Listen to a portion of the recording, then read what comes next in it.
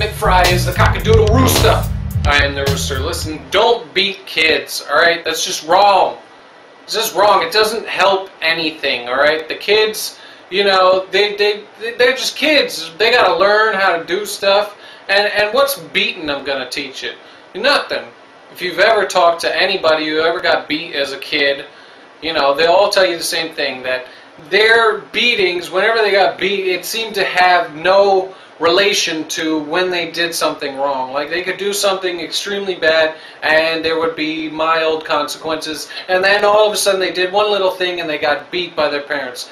You know why? Because it's all about what the parents are doing. It's the parents showing their power and their dominance over smaller, weaker people. That's all it is. This is the same reason these people are likely to beat their wives and stuff like that. These people, they have this need to show their dominance and their power over other people. And you'll notice they never flip out and start beating on someone bigger than them. It's always someone smaller. It's never, you know, the big bouncer at the bar, even if they, you know, screw them over somehow or, you know, someone comparable in strength. No, they always find a reason to go after someone smaller and weaker. So let's just end the practice of beating kids. It doesn't help anybody. It only leads to someone growing up to be a douchebag that just fights and, and beats on people smaller than them.